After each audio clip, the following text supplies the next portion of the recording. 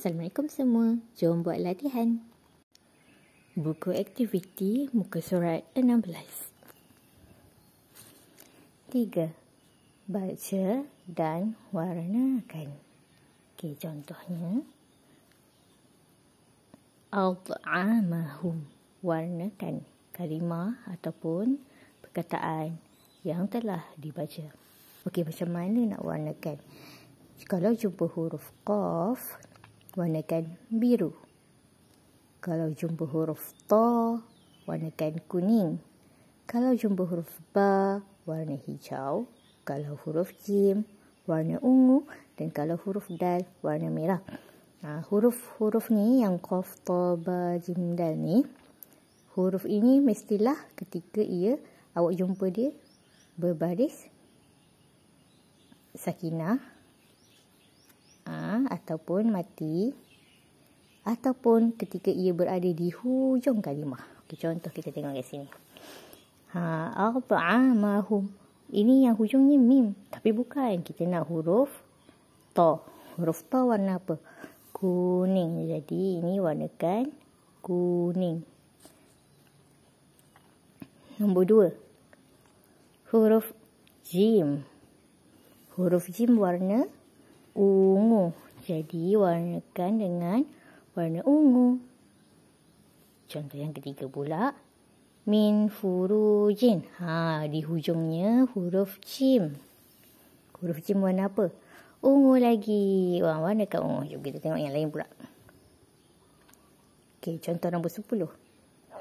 Iza hasada. Ha, ni kalau kita matikan. Iza hasad. Ha, hujungnya dal. Dal warnakan dengan warna merah.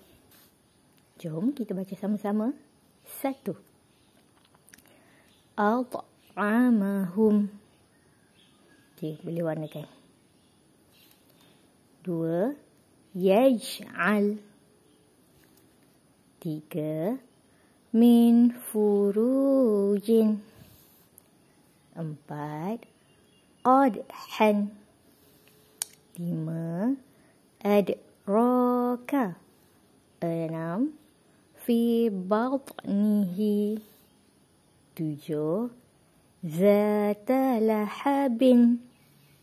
Lapan khalaqna sembilan babhan sepuluh iza hasad.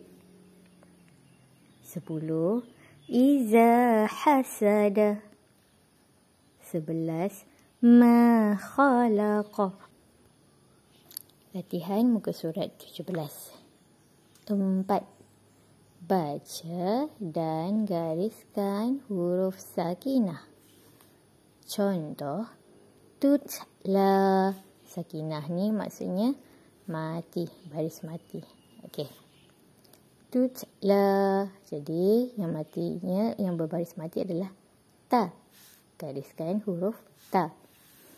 Okey, ini contohnya sama dengan yang atas gariskan. Ta. Nombor dua.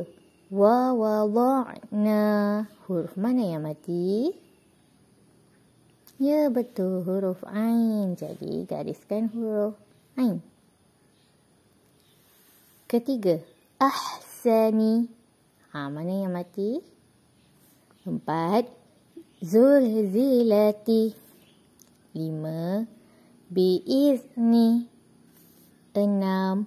Rodadnahu ha, pilih gariskan dengan warna. Okay, gariskan huruf yang berbaris mati ini. Menggunakan warna. Latihan muka surat 18 lima. Baca dan nomborkan Bismillahirrahmanirrahim.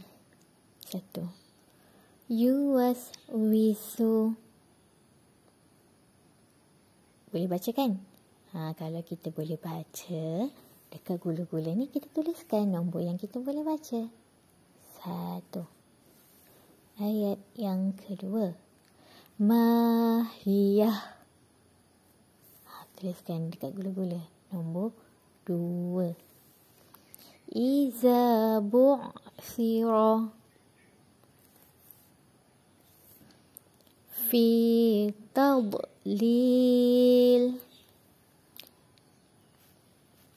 وأرسل عليهم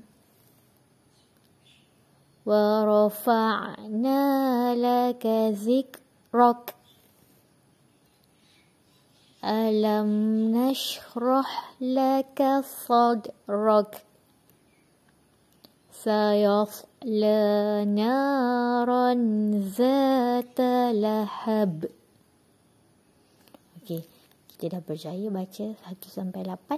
Jadi boleh tuliskan 1 2 3 4 5 6 7 8 Ha, kalau ada yang kurang lancar, maka kuranglah gula-gulanya. kalau ada sikit, dapat sikit, ha, dapatlah eh, 6 per 8. Kalau dapat semua, 8 per 8.